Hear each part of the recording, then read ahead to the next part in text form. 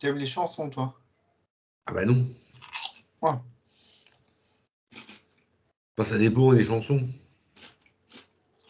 Là, par exemple, la grosse bite à Dudule, ça j'aime bien.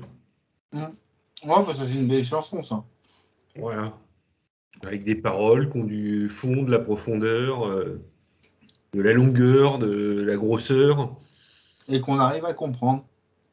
Exactement, ouais, parce qu'après, des trucs. euh, Ah bah oui, euh, on m'a vu dans le verre corps, ouais, sauter à l'élastique. Bon, hein, jusque-là, on comprend. hein. voleur d'amphores au fond des criques. Ouais. Ouais, hein, on comprend rien. Mm. Moi, j'ai rien contre euh, Alain Bachung, mais on comprend rien. Bon, allez, ce coup-ci, je coupe. Oui.